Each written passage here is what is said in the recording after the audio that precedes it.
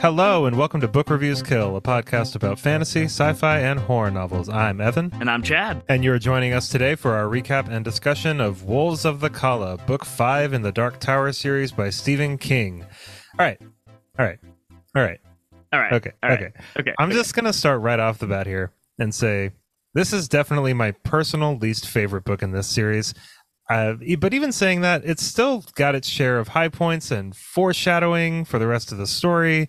But in, in my mind, it's the sort of bridge book between the relative normalcy of books one through four and the fever dream that is the last two in this series. So, I mean, that's just my thing. Chad, what are your thoughts so far on this? I'm honestly kind of relieved to hear you say that because I know that me and you kind of line up on what we like and what we don't like in books quite a bit. And to hear you say that, it kind of gives me like hope for the rest of them because this one was definitely my least favorite. Like there were uh, every other book that I've read, I'm stoked to read it. Like I'll get done doing something else and I'm like, "Oh, yes. I get to go read Dark Tower." And this one was more of like a I need to go read Dark Tower. it felt a little bit more like work to you. Yeah, yeah, you know, in Star Trek, occasionally they have like a um like a time warp episode, or they get stuck in some sort of like like it's just sort of uh, you know uh some little pocket of space time dimension or something, and they have to escape it. And it's definitely like a filler episode.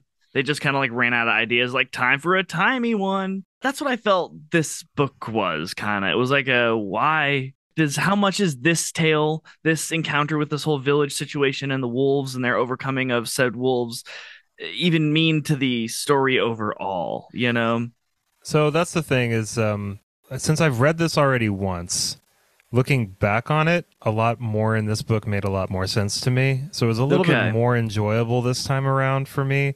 It was still my even on my second read, it was still my least favorite of the uh, of the seven. I mean, it's it's funny because a lot of people think that Song of Susannah is the weakest one, and I would disagree personally, but I see why. But you know, looking That's back on some one, of this right? stuff, yeah, totally. To be fair, like there's some great conversations in here. Uh, there's a Yeah. few really vividly drawn scenes, like Jake hiding from Andy the robot and Ben Slightman in the Dogan. That was really good, really suspenseful. Uh, Susanna being overtaken by Mia and eating live animals to Dude, feed that was Cap. That was pretty bad. disgusting. I was I was eating dinner yeah, while Yeah. eating while reading that and it was so visceral gross. and like uh, it was just disgusting and the way it was described was just like ugh. Her like crawling through the swamp with like no legs like all covered in mud and just like like consuming rolling around and like, everything. munching Yeah. frogs just oh man it was just but you're right there was a deepening of relationship between the characters in these books and seeing how because they were kind of divided well they were their quartet was broken for a little bit of it but not too much of it. They were pretty unified but physically they were divided. And so like each group well each kind of you know i guess the only group being eddie and susanna but everyone was kind of divided staying with different people building different relationships and they had a different role to play. And it was kind of cool to see each one be an operator independently of the others which i thought was kind of a cool thing though i didn't i, I don't know if it needed 800 pages to describe it to us but you know it was still cool I mean, we get to see some more of Roland's personality shine through. That scene where he's dancing, uh, in particular, is pretty cool. Also, in particular, Yeah. his ability to lead and plan battles. Um, he's he's even more personable in this book, and yeah and his humility is coming to yeah, show to yeah. bear, like you the other the other characters kind of shine all the brighter as a result. But yeah, let's just uh, let's get right into the intro or the uh, the recap here, and then we can talk about some of the finer points here. I'm just excited that we've. I mean, this is kind of in my mind like the hump of the series, and everybody's got their own opinions about what where that hump is. but we've reached the wednesday of the tale I mean, I think we have. I think that Song of Susannah is a blast. It's it's a, it's like one of the most well paced books in my opinion. And then the Dark Tower Seven, the Dark Tower is just bonkers. It's a lot. It's a whole. I'm a I whole am so in for it. I'm ready. And like, you know, as much as I may complain about some of the pacing or just like the boringness of this one, I am really excited to move on to the next books because this whole series has been just just wild and fun and great and an excellent like tour through the mind of Stephen King and just uh just been fun. So I'm I'm in it. You know, if you hear me complain, keep it uh, take it with a grain of sand, salt, whatever, because uh I do really like these series. All right, so let's get right into the recap. Let's do it. After leaving the Emerald City, Roland Deschain and his quartet approach Calla Bryn Sturgis on their way to Thunderclap. Eddie Dean and Jake Chambers are taken to New York in a dreamlike state called Todash, while Roland follows Susanna in her new split personality Mia as she crawls through a swamp and feeds on live animals to nurture her growing child. While in the Todash state, Eddie and Jake discover that the rose in the vacant lot is in trouble. While in the Manhattan Restaurant of the Mind, they see Calvin Tower, the man who owns the vacant lot, being pressured by Jack Andolini and Enrico Balazar into selling it to the Sombra Corporation. A group of people has been observing the quartet from a distance, and a former priest named Donald Callahan comes to talk with them. Roland, Jake, Eddie, and Susanna learn that roughly every 23 years, the Callas are raided by wolves, robotic soldiers that serve the Crimson King.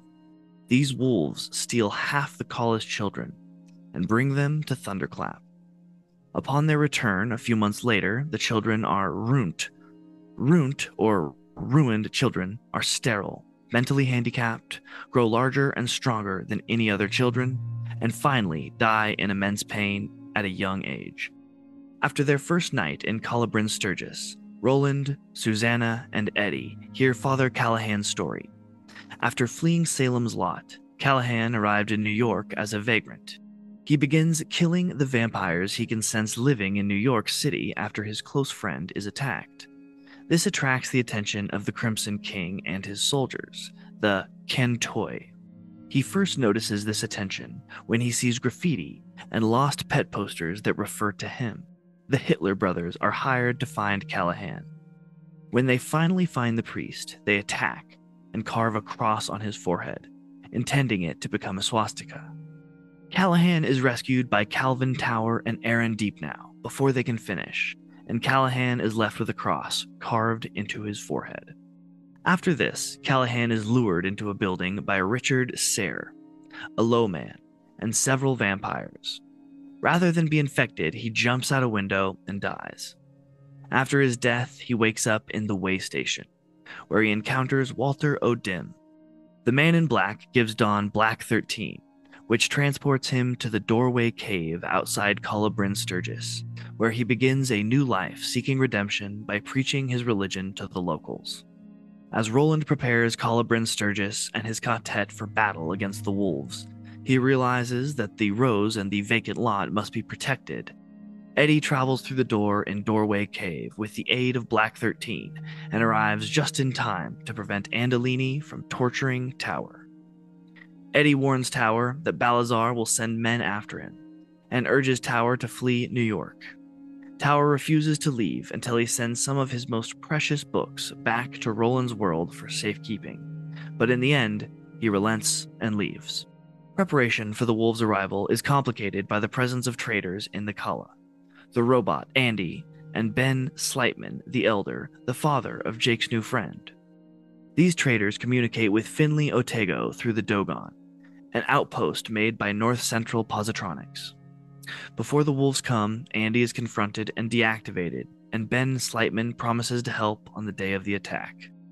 On the day the wolves arrive, the quartet is joined by several sisters of Oriza. Jake, the Tavery twins, and Ben Slightman the Younger create a false path leading to where the children of the village are supposed to be hiding.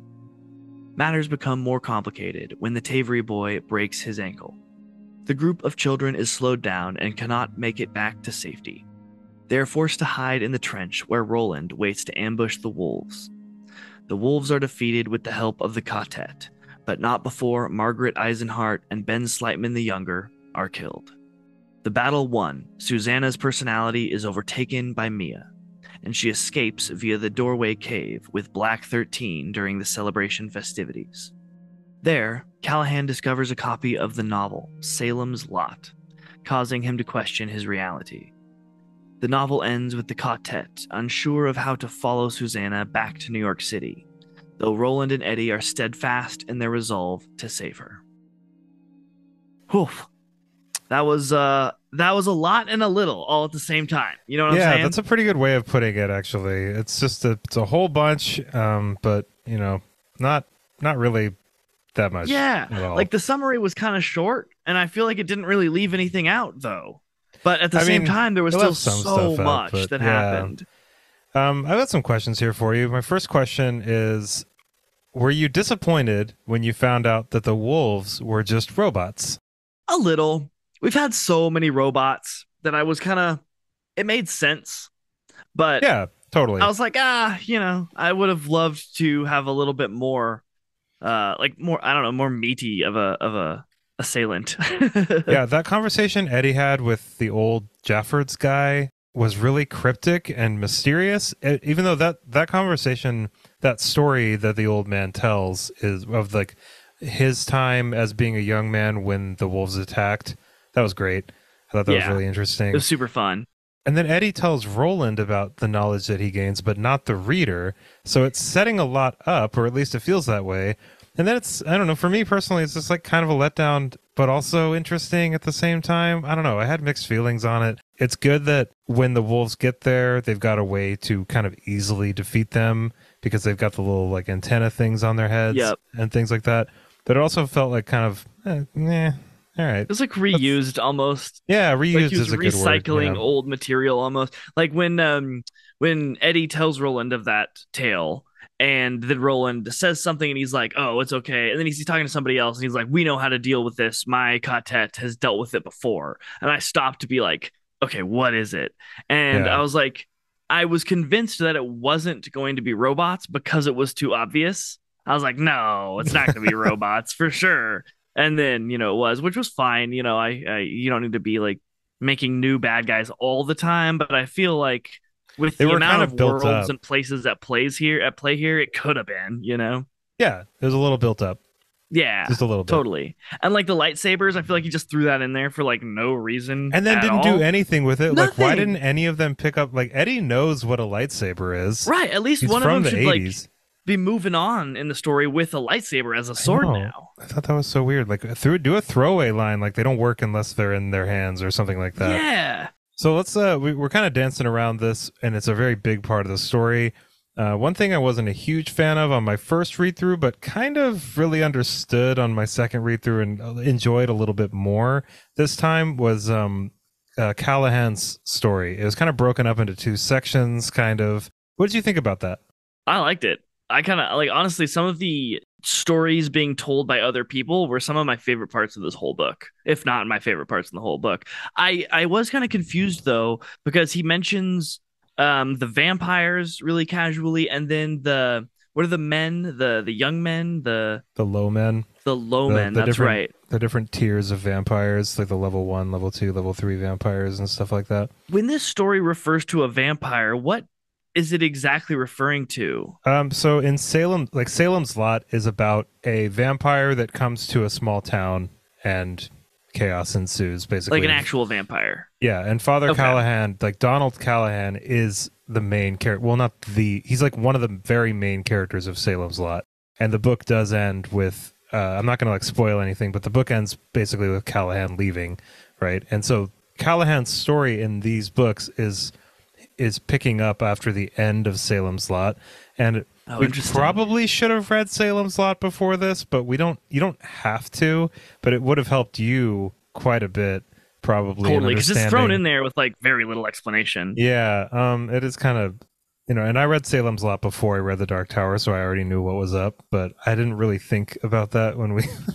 Whatever. but it would Like, have I mean, taken us a while to read Salem's Lot. It's totally. easier for and me like to just explain with this it to you. conversation, Yeah. with this conversation, it's totally explained to me, so it's fine. Um, I would say if there's any one book so far that has been like, you know, there's so many references to like other stories Yeah. throughout these, but if there's been one of them that would have actually aided in the understanding as opposed to just like a cool, like, oh, that's a fun Easter egg, um, I think Salem's Lot would probably be it for anyone out there who's wanting to like really Yeah. marinate in this uh story. Yeah, like I mean, Captain Trips from The Stand is in Wizard and Glass, and that's that's a that's a nod to The Stand, but you don't need to know everything that happened in The Stand for that. There's like that Oh, okay. note that somebody finds on a windshield wiper that's kind of like giving directions to for people to go meet people in Nebraska, and like the the the man is in the West and all that stuff, and Yeah. that's fun for people that have read The Stand. But yeah, I totally agree with you that um, Salem's Lot is it's pretty important, or at least it's more important than it would be to read The Stand. But yeah, essentially, uh, Callahan is now seeing and like sensing other vampires around him. Um, that whole story was really cool. It, it's got that kind of Stephen King flair. You know, you've got like this kind of vagrant dude who's kind of on the run from vampires, and it's a very neat story. Um, you know, the vampires have their their whole system of trying to catch him through like these uh, wanted posters and things like that, and right, it's like really graffiti and yeah, I mean, uh, the only thing that I I'm not a big fan of about it is that you know we've kind of got like, with Wizard and Glass, it's like this big 600 page long story, right? And then we get into this, and then now we're being introduced to this entirely new town again, even though that already happened once in Wizard and Glass. a now new we've cast. got yeah, now we got like uh you know essentially not not the same story, but it's a you know it's Roland plotting for this eventual battle that they're going to have to be in with his quartet and everything, and then there's like the kind of inner machinations of the town and Roland's personal life uh, kind of flared into all of this, and so it's a lot of the same thing over the course of like 1500 pages of book, you know, uh, and so Yeah. Callahan's story it's like another kind of just left turn away from the the kind of a story that's going on here like the Mhm. main story like roland and susanna and eddie and jake and Oy don't really cover that much ground if you think about it Very From- little. yeah from um like physically and figuratively from the end of the wastelands to the end of this book They don't even get to Endworld. They get to the border of Endworld. And I guess Jake crosses over into it when he uh, takes his little trip over, which is one of the coolest scenes, which we'll talk about here in a minute. But um, yeah, so it seems a little almost inconsistent, kind of, because remember before they hit the big city, Jake asking like, "Why didn't we stop to help them more?" And they're like, "Well, once you do one thing, you know, you know, give a mouse a cookie, sort of thing. We're gonna be here forever because we'll be helping them for all their things." And then in this one, I guess all it takes is them being like, "You are honor bound to help us, and we need your help." And then he's like, "Ah, you're right." And don't even dare Yeah. suggest that you pay us for our work because that's not how this works. Like I don't know, it just seemed like I get the honor thing, but it seemed like definitely a major and time-consuming distraction on their mission to prevent like what I can only assume be the crumbling of all space-time everywhere. You know? Yeah that's really valid but i'm going to completely uh, set all of that to rights for you right now Okay. So one reason, one of the main reasons they're doing this, um, and I think that it's hinted at that Callahan would give it to them anyway, but they seem to be a little bit motivated because of Black Thirteen. Black Thirteen is the way that they're going to be able to get back to these two different timelines in New York. They have to get first back into the '60s to recover Susanna's money so that they can pay off, or at least that's their plan, right? Right. Um, it's gonna that plan's not really gonna. Anyway, Work um, out so great. Yeah. we'll see. But uh, they also need to get back um, again to pay off uh, the Sombra Corporation or whatever. and so what is Black Thirteen? it's the like, like it's it's one of the balls in in uh, Maerlyn's rainbow. You know what I mean? Okay, There's like so a it's bunch the of thirteenth like Palantir or whatever. it's the black one, yeah. Like in the, the Okay. Wizard and Glass, it was like the ruby one or the pink one or whatever, the grapefruit. You know, um, so there's 13 of them, and the black one is Got like it, the okay. most intense one. It's the it's the oh my god, you know. Um, so that's one of the reasons is that uh, Callahan is essentially like I'll let, I'll give this to you if you help us out. You know, um, I think that Callahan says something along the lines of like I would have given it to you anyway, but that's one of them. Um, another thing is that I think that when they're in um, River Crossing in book three, when Jake asks Eddie why they didn't help them out, Eddie's answer was pretty correct. River Crossing's situation wasn't as dire. right. as It was this is, way like- different. Yeah, like this is a pretty extreme situation. And I would also say they weren't quite quartet and they weren't quite gunslingers True. back in the wastelands either. So like now I feel like Roland uh, after telling his story about his previous quartet, especially, I think that some unconscious part of Roland knows that this is another turning of the wheel of Ka. This is Mm-hmm. another quartet of his. Maybe he can do some things better. Maybe you know what I mean. Like I think, Yeah. like this is like it's like a test almost of like how Yeah. close knit this this quartet really is.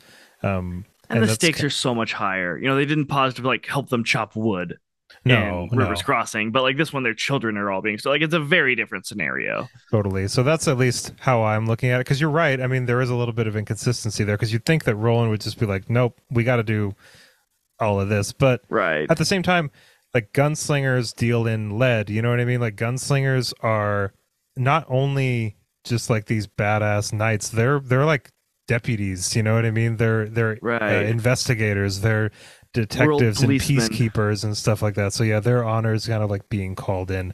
Um, I like that conversation between uh, Callahan and Roland when they finally meet in the, or that when they first initially meet uh, in the in the woods or whatever outside of Calla Bryn Sturgis, and then they bring like Overholser in and everything, and Mhm. every time they're kind of like moving the conversation towards like okay so when we do this and roland's just like no no no no we haven't agreed to shit yet. Right. like we like, we are really still in Palaver stage. yeah totally. Yeah. Good old palaver. Um, dude palaver is used hundreds it's like a, i almost feel it's like a like a like a cultural thing or it's like branding as part of this book series you know? Okay so in that in that vein um so i've read like 40 stephen king books or something Yeah. and so one thing that i've noticed that stephen king does all the time in his books is he always does this he always calls back frequently to something super specific he does it a lot Hmm. in in his books and it could be anything it could be just like the way something looks or one thing that someone said that someone can't stop thinking about It. but he always does this like callback to something extremely specific and it usually doesn't really annoy me. I wish i had a specific or well articulated reason for saying this but you know the near constant mentioning of someone saved my life tonight that really was annoying to me in this book. I was over it.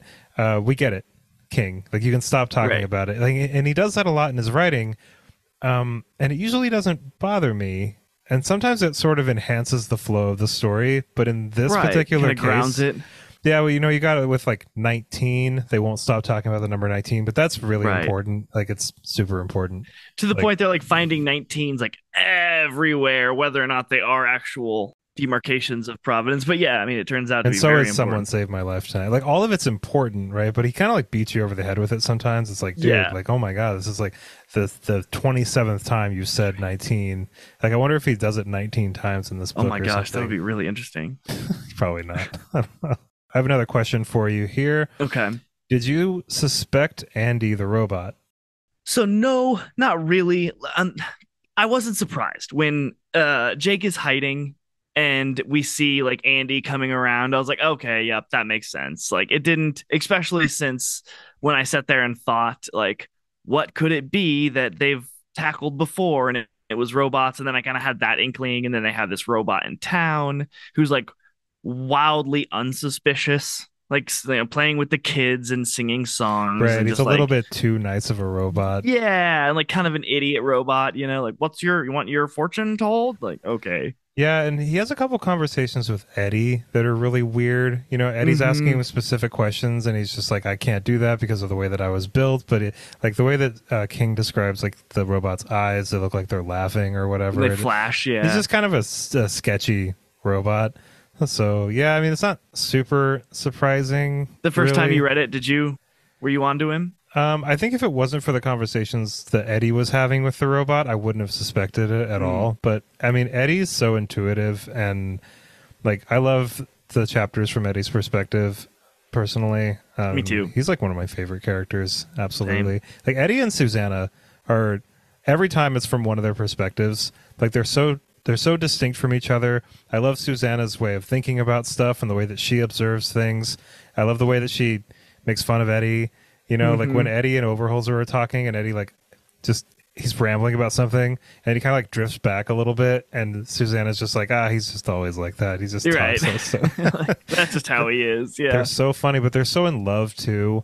You know, I Mhm. mean, Eddie is so shaken up by the end of this book. Um, what did you think about the whole like Roland knowing Susanna is pregnant with the chap the Mia situation, his deciding not to tell Eddie about it until a certain point. Did you think that that point came early enough? Do you think he should have told him earlier? What do you, what do you think about all that? I think honesty is always the best policy in these sort of things, and it's been treating them really well throughout this entire time. And in fact, in previous podcasts, I've mentioned it's like the thing that I really like applaud them all for is like the moment that Roland's like, "I'm going crazy, take my guns." Like they're very honest with each other, and I've been stoked up till this book that there hasn't that there hasn't been any sort of like interpersonal lack of trust where like the conflict in the book is created by like shifty eyes and like unsuspect or suspecting and untrusting the fellow members of the quartet. I did like how it was portrayed in this. Like it was done in a very like cool way that Jake realized like we're not quartet anymore. And then he immediately tells Roland, and then Roland's like, I must apologize to you, Jake. And then they like go about fixing things and it's they kind of all come back together. So it was done well. Um They could kind of no. tell that things were dissolving a little bit. yeah, yeah, Yeah. and they need to be strong in order to face not only this immediate threat and this situation, but what definitely what's going to come. And uh, but no, you know, I to answer your initial question, I didn't like the fact that Roland didn't tell Eddie right away, and he was just like, uh, he can't like handle it or something. I don't know. It was just like, no, man, he can. And if there's anyone who's like earned it, it's Yeah. the fellow members of your quartet, time Well, and and time Eddie again. does handle it pretty well too. Yeah. Like Roland was wrong not to tell him like earlier. Totally. You know, Eddie would have handled it just fine. Um, I mean, at least in my opinion, like maybe there's some reason that I'm missing why Yeah. it was a good idea for him not to, but I didn't see it. I have a question for you here. Was it the am I correct in my understanding that it was the man in black who was helping Susanna at the end get away or I guess it was Maya cuz someone she had assistance. Someone provided her with a new chair. Oh, that was um, that was Andy the robot. Oh, okay. Yeah. Um, And he, but didn't they have him captured before he would be able yeah, to do but he that? was able. No, he was able to do it initially or before Oh, okay. beforehand. Yeah. Um, okay, so he's then- I wonder who's working who both Andy and all the wolves are working for. um the Crimson King. But who the hell is that? Yeah, that's something. I mean, the man in black. No, I can't. I can't get quite into that right now Okay, okay. because Ben Slightman the Elder is working for the Wolves, who are working with the Crimson King, right? And like that's all. So they're trying to like divide this whole quartet up and everything. Okay. Yeah, the end. The I whole guess the Crimson King is odd. Part is just very kind of casually mentioned because I didn't like latch Well- on well- to him. Don't worry about it right now. Okay, okay. Just know that the Crimson King is behind a lot of all this nefarious. Okay, he's up there on. clapping in Thunderclap, which is like a place, and I'm very curious as to what that is and where it is and what it is at all. Like, Yeah, I mean, as much as I love Song of Susannah, I'm really excited to get through Song of Susannah so we can just get right into the seventh book because that's when Yeah. everything starts popping off and gets fucking just so wild. it's such a crazy book.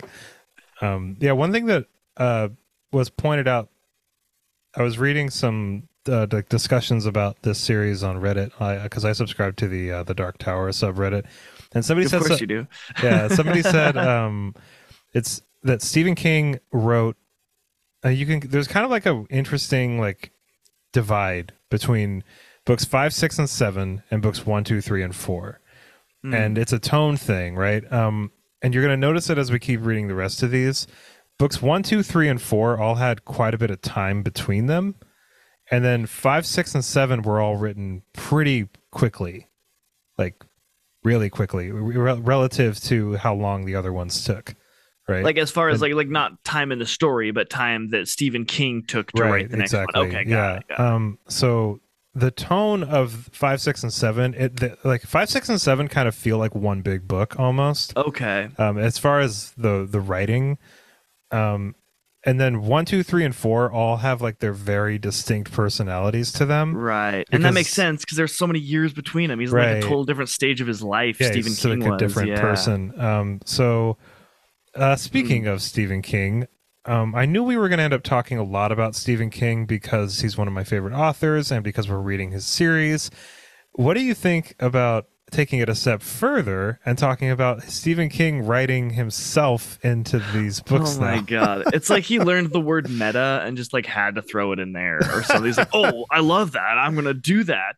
And Yeah. like he like there's a couple Stephen King books I believe in Tower's trunk, you know.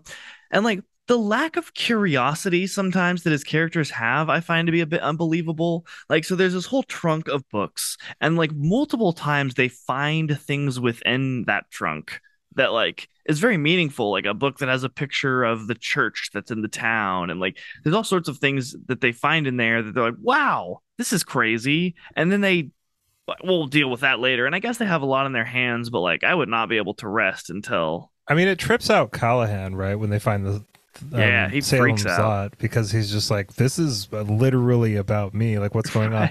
So uh, I'm going to try to talk about this without getting too much into what's going to happen in the next couple of books. But I personally think that it's genius. I think it's, and one of the reasons that I think that Stephen King writing himself into these books is genius is because what what are these books about? You know, what I mean? like these books are about, about all time and all places. Exactly, exactly. and so, like, what better way to break down the fourth wall that, in my opinion, needs to be broken down for us Yeah. to get that next dimension that we really need for these books? I think it's absolutely brilliant. Um, In fact, I would love it if they progress or accomplish something because they read a book about their story with you know, like that would be a really cool like story element. Yeah, um, it would be, and I mean, it's it's just it's it sucks to see sentiment around these books sometimes where I can agree with a bunch of different things where I can totally disagree and that's totally fine. But one thing I will not stand for is people saying that Stephen King is like a hack for doing this Oh, or that he had no no. it was like this self-indulgent thing. It's like, dude, like he could have done this in any of the 30 books that he wrote before. Like I think he's Right. doing it for a reason. It- It's important to him. It's He's important to the story. to bring in like- all universes Yeah. everywhere and even all ours, time. even ours, Even ours. So yes, let's exactly. go. He's Let's- bringing it home. I love it. What Like, would be self-indulgent would be like J.K. Rowling writing in herself as like the most powerful wizardess who like witch who like saves the planet or something. You know, it's like okay, Surprised she cool. didn't. I know, me too. But like, but like this, I didn't find this. tweeting. Yeah, thank God for the witch Rowling. uh, but no, this wasn't self-indulgent. This was a element of the of the story to bring home the fact that it this this story truly encompasses everything, and it is in fact greater than Stephen. Now, all that being said, let's see how silly it gets, and we'll talk about it more. Okay, okay. I'm not, Like, I'm not just get a little totally writing. Stephen King dick all the time. You know what I mean? like, Right, there's some right. there's some stuff about uh, this book in particular, honestly, that that really do like it. They, they rub me the wrong way. You know what I mean? Yeah, I just hope we don't see Stephen King. Like, I hope he's not a character in this series. Like, I, maybe like one he can be like one like conversation or something. But like, I hope he doesn't like join the quartet or something. You know, What did you think So- about the very last part of the book? smiles at me. um, okay. Honestly, I thought it was a little disappointing. It was just a. It was like a firework show, and and a really short one. It was just like bang, boom, bang, awesome, done. And then it was like great, and then we solve this problem. We don't get any chance to rest or like kind of celebrate with the townsfolk. Um, we Maya or Susannah Yeah. just immediately goes off and like I don't know, it just seemed like it could have been a little bit more drawn out or like done in a way that was just like I don't know, more fulfilling kind of. Didn't it didn't end very fulfilling and like Jake's friend is dead but his like his POS father somehow gets to keep going on. Like I don't know, it just seemed So I'm going to attack this from two different angles just to kind of satisfy myself here because I love the sound of my own voice. So, um, me too. so uh, I hear you. The battle at the end is really short lived. It feels a little bit anticlimactic. There's two possibilities here.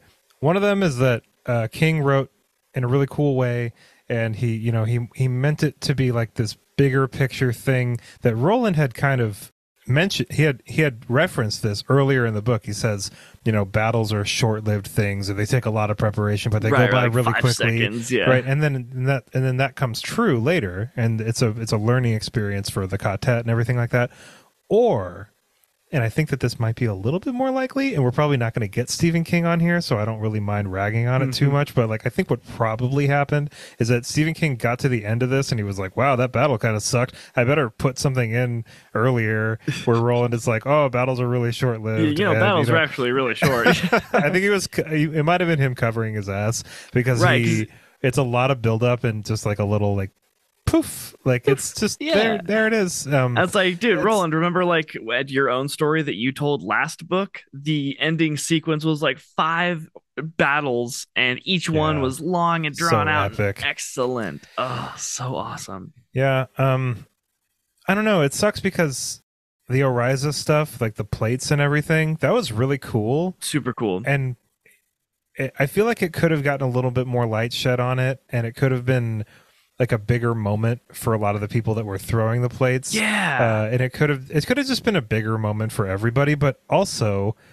Is a battle supposed to be a big moment for people, though? You know what I mean? Like, right. maybe, or is every battle supposed to be a big moment? I think is the question, right? right. I mean, right. It's like some of them are just battles. Right, exactly. And um, I mean, we still have consequences of this one. There's still some character growth there. I mean, I think Jake. We should just talk about Jake, honestly. Jake I think, experienced the most growth. I, I think this. Jake was the best character in this whole book. Uh, I like up. Eddie the most, and I love Susannah, but Jake, um, God, like Jake going off by himself and going and investigating, putting himself in danger, My and good then- lord. and also seeing his earlier self in the very beginning of the book and like the comparison there was really great. I loved that. Like Mhm. eh, like Eddie notices it, Jake notices it. You know, the kid that's in this bookstore is just like this whatever, like just this little kid. You know, it's just Right. like whatever. It's just this this rosy cheeked, totally clean and nice clothes, just Right, wandering Jake's around. still New like what 11, 12 think he's in this 11, book. yeah. Yeah.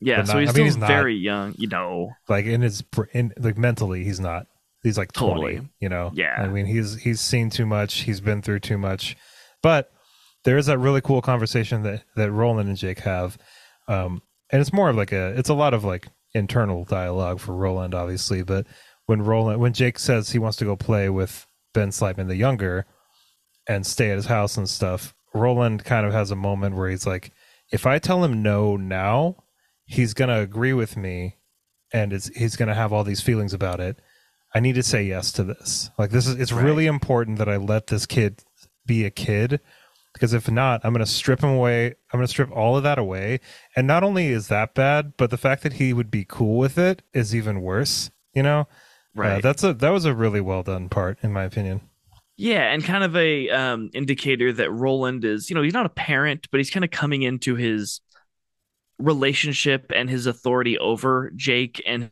his guidance of him. Like, you know, I'm not a parent, but I've been told like by my parents that you know, in raising a kid, you kind of gotta kind of gotta trust them enough to let them fail on their own. You can't always protect them, and as they continue to kind of prove themselves to you, their trustworthiness, you kind of expand and widen the range of what you allow them to do and be like, yes, now I trust you with this. Now I trust you with this. And if they make mistakes, like, you know, you can't always be there to fix it for them or to prevent them from making that mistake. They need to make it on their own and then learn the lesson from it. And Roland was kind of showing his wisdom and his um his evolution as a like caretaker of Jake and letting him kind of do his own thing and go out there and put himself out there and succeed or fail, you know, regardless of the outcome.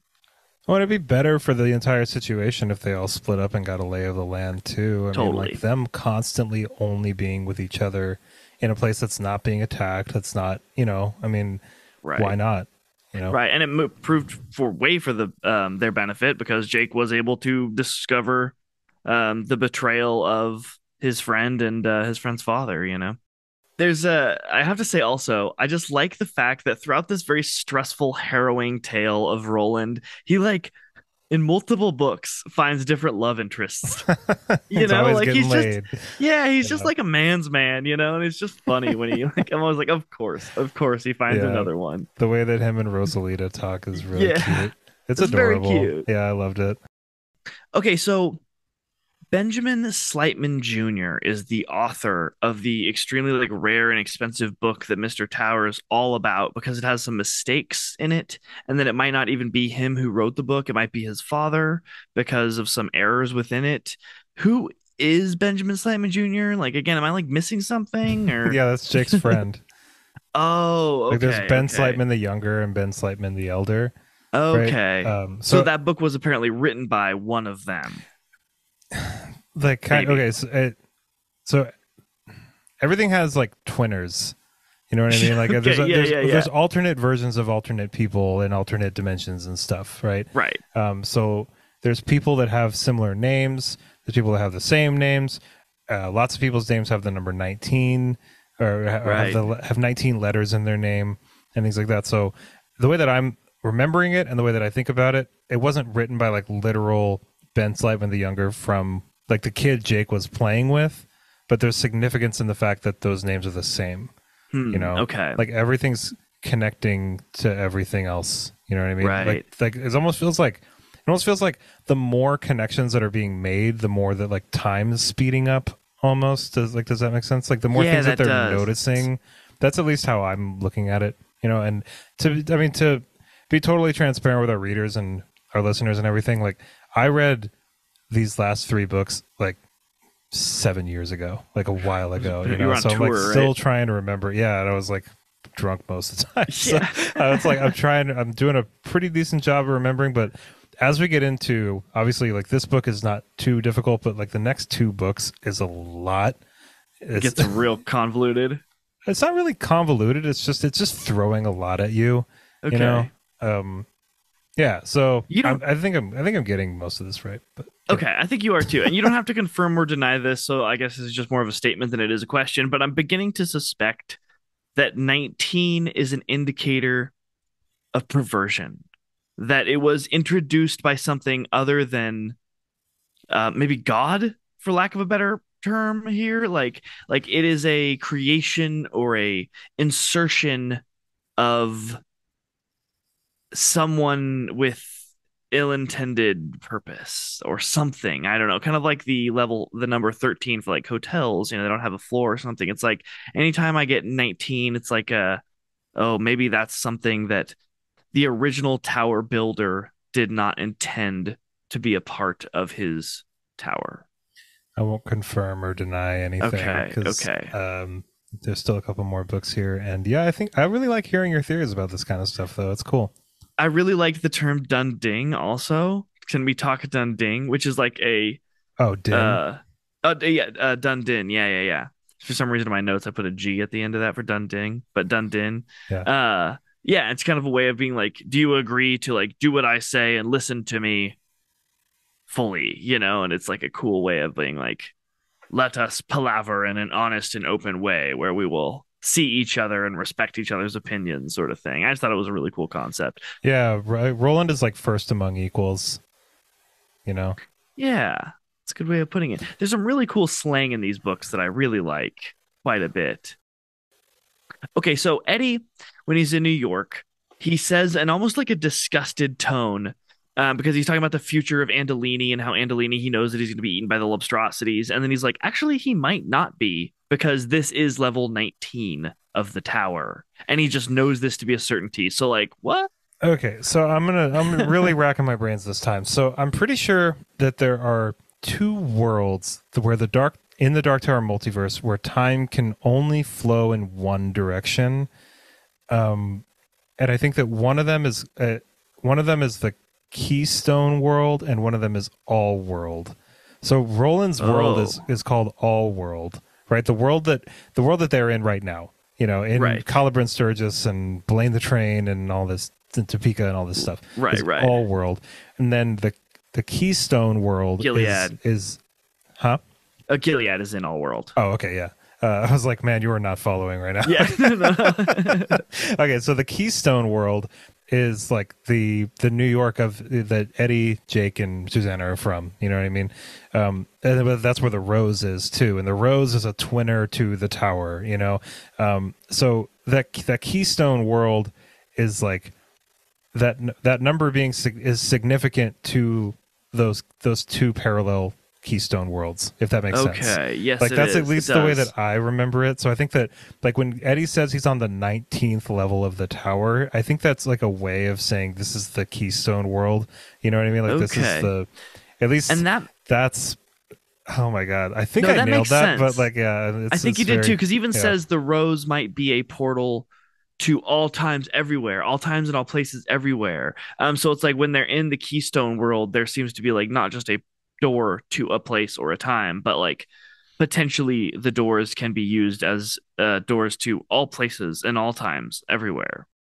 Oh, what did you think? Speaking of the rose, what did you think about that part where uh, Don Callahan like goes to go see the rose? You know, because it's just singing in that whole area, and then that hippie comes up and talks to him. He's like, "Man, isn't this rad? Like this this one spot. This man, I had the place, bad acne, man." and I just kept coming back here. My face cleared up. This place is awesome.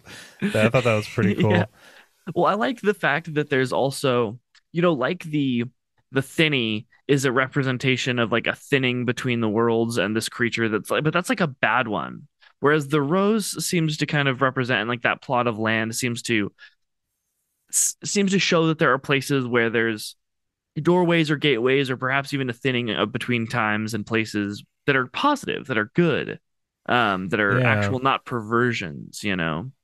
Yeah, that's an interesting way of thinking about it for sure. Yeah, Yeah, though the- it is the- interesting that the rose is in a lot of like a broken down, uncompleted construction project. You know, there's something deeper Well, I mean, there the, that uh, it's not finished. I think I might be able to, to tell you what that's all about. Okay. At least in my mind, this is what I think is like everything. Everything in this particular instance uh, seems to be like working on some sort of like opposites or twin opposites or whatever. Like the rose is in a vacant lot filled with garbage, right? And Right. the tower is in a field of roses.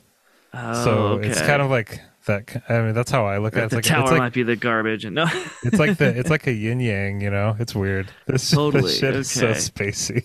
dude, it gets real spacey. It's I really like more the, spacey, uh, buddy. Yeah, yeah, hold on, dude, hold I- on to your your Yami, your Yamako, I'm man. I'm in for it, man.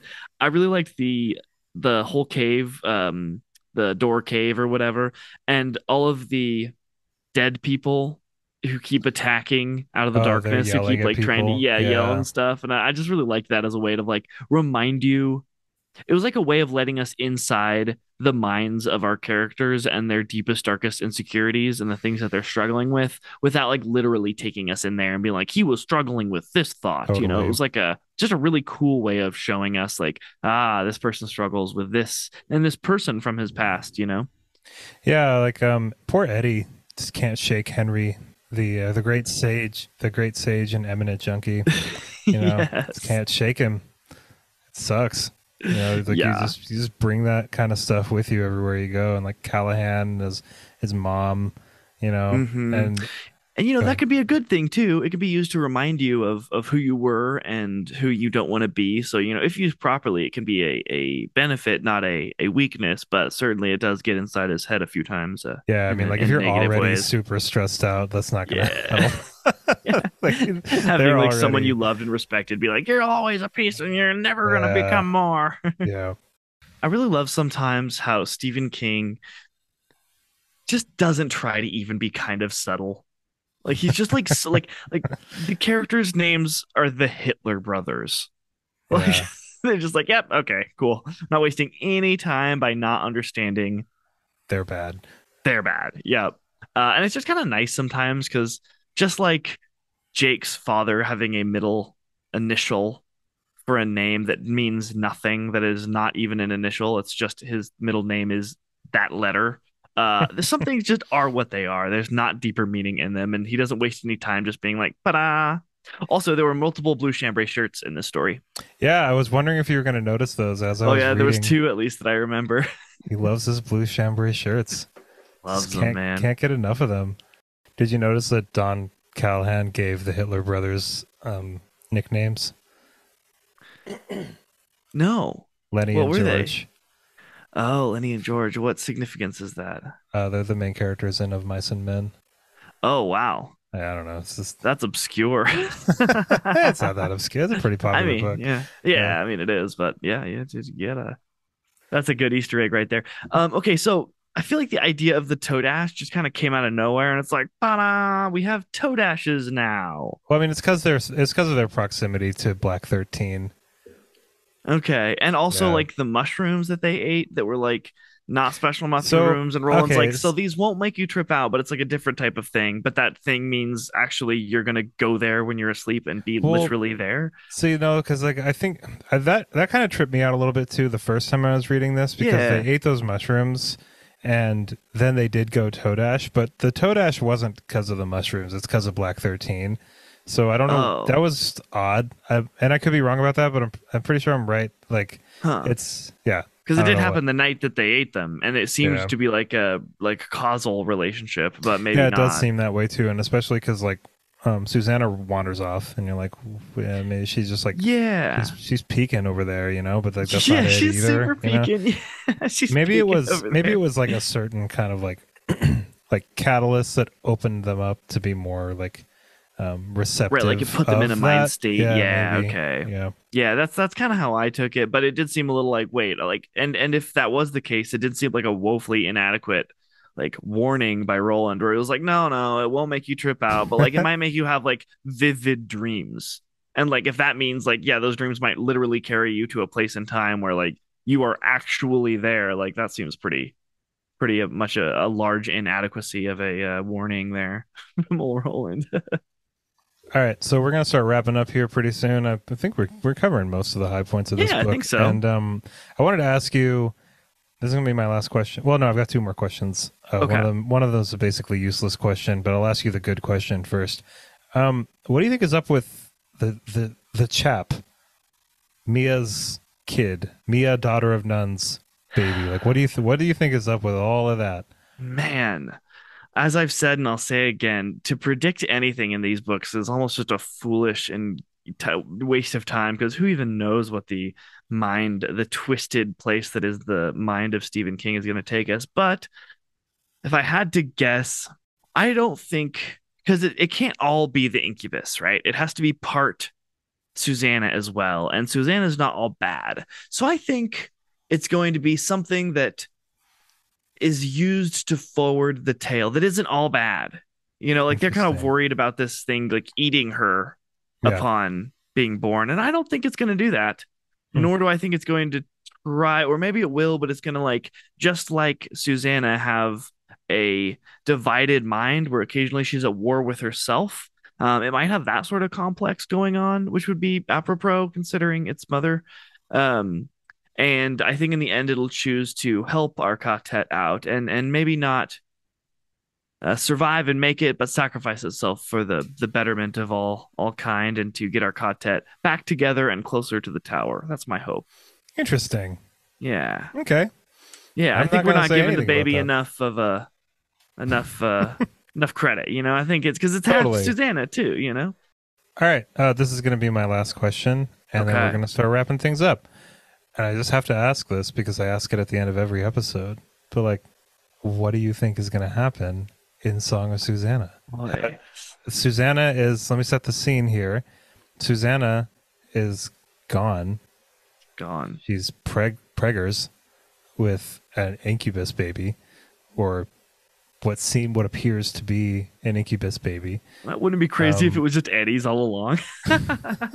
It's definitely not Eddie's. Yeah, I yeah, no, it's it's definitely not confirmed basically in this uh you know she's Totally. she's not she's not getting her period it's um it's or no she is still getting her period i should say um yeah well, so what do you what do you think is gonna what do you think this next book is Wait, gonna she be is about still getting her period, yeah yeah that's a even with sm- having the baby. yeah yeah Oh, weird. Okay, Yeah, so it's like that's like a. that. I must have missed that. Yeah. Yeah. Um. For, some reason, I thought it said that she wasn't, but I guess that must be like an indicator of like this is not a human baby because she's don't still getting her See. period. Got it. Okay. Um. Well. Okay. Here's what I hope doesn't happen. I hope that we don't spend the whole next book trying to find Susannah. I hope that they get connected pretty soon. And like yes, the whole book can be about fixing the problem that is created by um like the baby incubus baby that is going to become come out of her and be like a demon child or something. Like that's fine with me, but I don't want it to be like a, we're just searching for her the whole next book. What do you think is going to happen with the Rose and Calvin Tower and the Sombra Corporation, uh, Rico Balazar, the vacant Calvin lot? Tower's gonna die. Hmm. He's gonna die. I think he's too dumb and cares about his books too much. But before he does that, he will either either his books or him or him using his books will reveal some very important piece of information, perhaps a key to like get into the tower or something that will allow them to find the tower or something um, that will that will get them get our quartet closer to the tower. But I think it will be the the last thing that old old Calvin does. Interesting. Or maybe maybe maybe Calvin Tower is a bad guy and he's playing everybody. I don't know. I don't know. I got a I got a hint that he's like maybe more than he's telling us. Somehow. I don't, I don't know. I don't know. Maybe I'm just wanting him to be something more than he is. Think we're He's just going to annoying. have to he's read an it. annoying character. We're just going to have to read Song of Susannah. I kind of want to go read it right now. I think I want to uh, go read it right now too. Yeah, everybody, thank you so much for joining us for this episode on Book Five in the Dark Tower series. We are one step closer to the nexus of all realities. One Oh, member of our boy. quartet down to be found before we can go fix all space time. MIA. MIA. MIA, yeah. definitely. But everybody, thank you so much for listening. Hope you have an awesome rest of your day. And of course, happy reading. Bye, everybody.